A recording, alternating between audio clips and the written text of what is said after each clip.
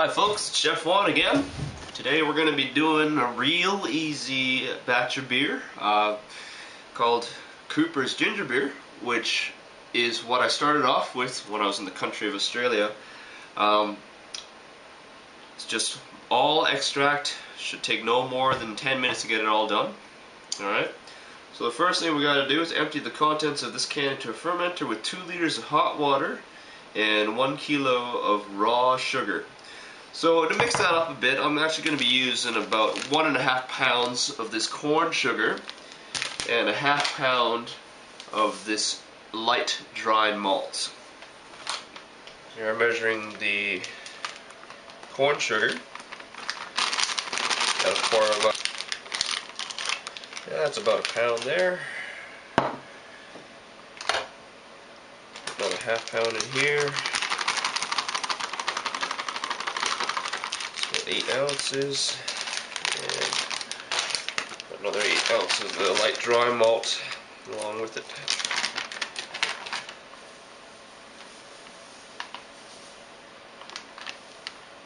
Come on. There we go. So on top of this can of syrup, we're adding about another two pounds of fermentables. Now before I pour out the syrup out of the can, I like to have it sitting in a bath of warm water to make the syrup a bit more um, pourable. So that's been in there for about five minutes. I'm going to open it up and uh, put it in the in the pot. So I got my can of ginger beer syrup, which I'm going to pour into the pot now. Like so. And I got my other fermentable sugars, which I'm going to add in. Here's my light dry malt, along with the corn sugar. I probably shouldn't have put in so much water, but that's okay. We'll get the stuff all stirred up.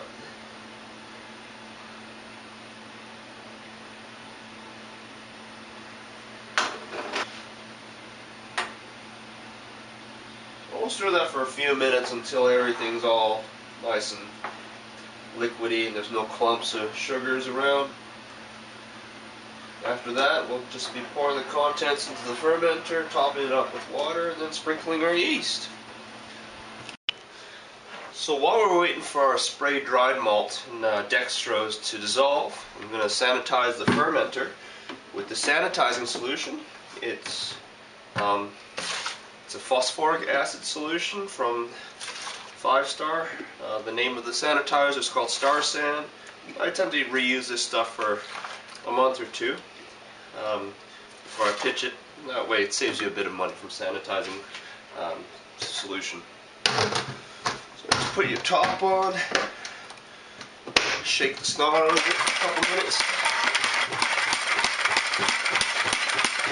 Get the inside of that fermenter all sanitized before any of that precious wort gets in there before uh, fermentation starts. You don't want any rogue bugs to be in there contaminating your precious beer. So that's looking nice and frothy and sanitized inside. There we go.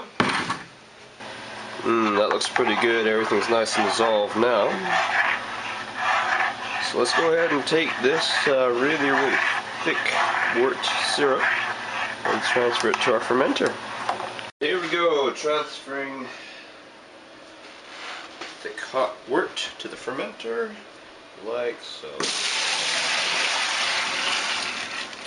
I'm just going to top it up with water until it hits about 5 gallons. Alright, here's the last of my water I'm going to add. So before I add the yeast, I'm going to take a starting gravity, even though the instructions don't specify for it. Uh, it gives us an indication later on uh, the alcohol content. So before I do that, let's give this a bit of a stir so we can evenly distribute all the sugars. And I'm taking a sanitized cup here for that sample. There we go. That'll do. So let's see what the magic hydrometer shows us. Gonna pour in our wort.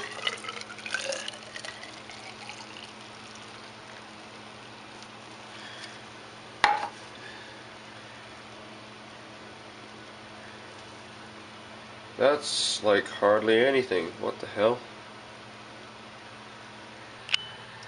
Hydrometer shows a reading of 1.020 to correct for the temperature differential. It's actually 1.022.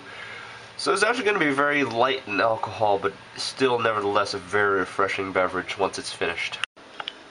So now I'm going to pitch the yeast from Cooper's, which came with the can of uh, malt extract.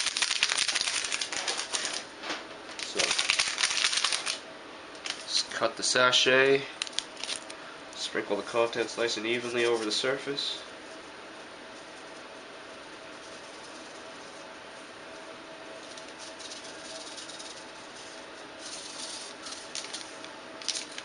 There we go.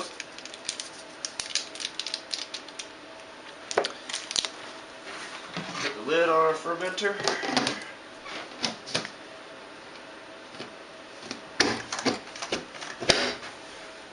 In our airlock, which has been sitting in the uh, sanitizing solution.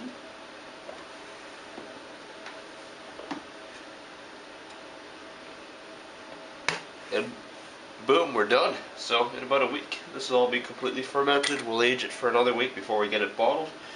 Boy, I can't wait to have this one. Alright, see you guys in a few, folks.